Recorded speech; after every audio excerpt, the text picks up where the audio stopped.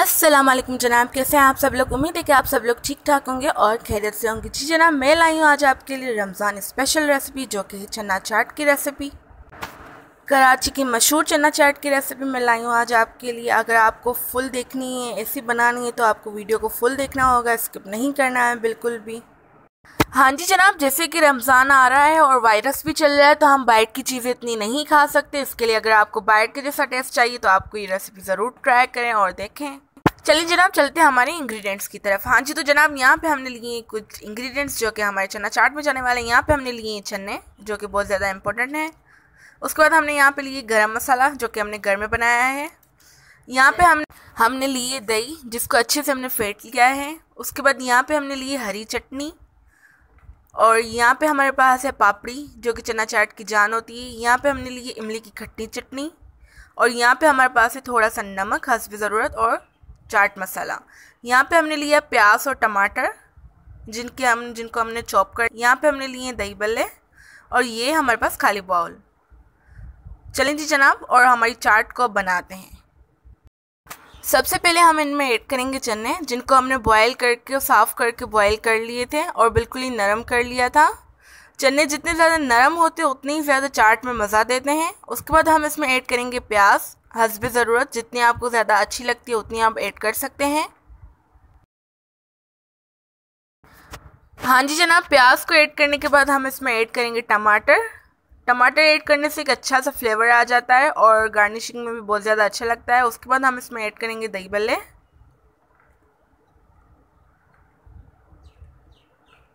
जैसे कि दही बल्ले भी बहुत ज़्यादा इंपॉर्टेंट होते हैं, मुझे तो इसके बगैर बिल्कुल भी अच्छी नहीं लगती चाट। उसके बाद हम डालेंगे इसमें चटनियाँ आप। हाँ जी जनाब, अब हम इसमें डालते हैं चटनियाँ, जिसमें हमें सबसे पहले जाएगी हमारी दही। दही को आप अपने हिसाब से ज़्यादा या कम कर सकते हैं। जितनी आपको ज़्यादा पसंद हो, आप उतनी ज़्यादा ऐड कर सकते हैं, और जितनी कम पसंद हो, आप उतनी ज़्यादा कम ऐड कर सकते हैं। दही डालने के बाद हम इसमें हरी चटनी डालेंगे। हरी चटनी में हमने सिर्फ़ मिर्चें ऐड की हैं, और इसको हम अपने टेस्ट के हिसाब से डालेंगे। ना ज़्यादा स्पाइसी करेंगे, ना ही ज़्यादा फीका करेंगे। जितना आपको टेस्ट के हिसाब से चाहिए, आप उतना ज़्यादा ऐड कर सकते हैं। उसके बाद हम इसमें ऐड करेंगे इमली की चटनी, जिससे खट्टा सा फ्लेवर आ जाता है। इमली चटनी ऐड करने के बाद हमने गर्म गरम मसाला डाला है, जो कि हमने घर में ही बनाया था। इसमें हमने ऐड किया है जीरा और लाल मिर्चें, जिसको हमने कूट कर डाला है। उसके बाद अब हम इसमें ऐड करेंगे नमक और चाट मसाला को मिक्स मिक्स करके। ये भी आप अपने टेस्ट के हिसाब से डालें, जितना आपको अच्छा लगता है। हाँ जी तो जनाब, ये हमारा चला गया नमक और चाट का मसाला।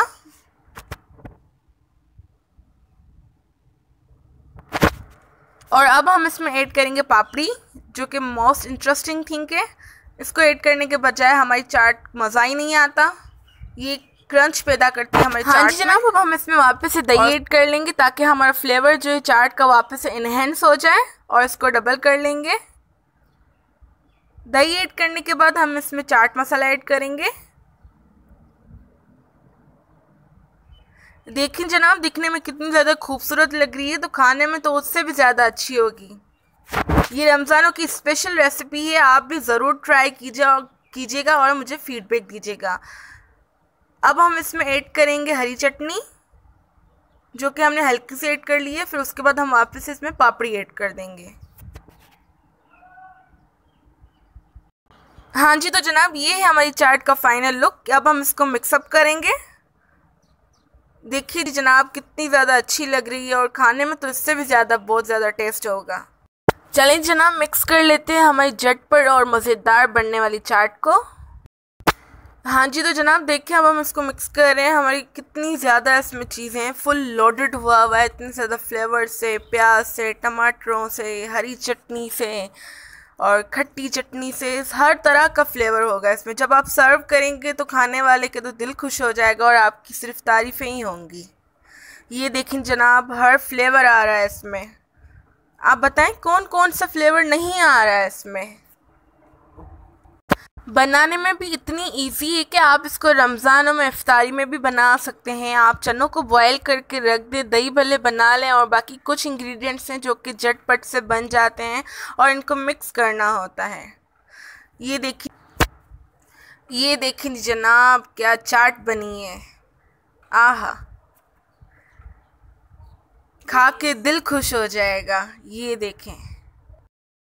चलें जी जनाब, अगर रेसिपी अच्छी लगी हो तो प्लीज़ सब्सक्राइब लाइक और कमेंट ज़रूर कर दीजिएगा। आऊँगी न्यू रेसिपी के साथ, तब तक अल्लाह हाफिज़।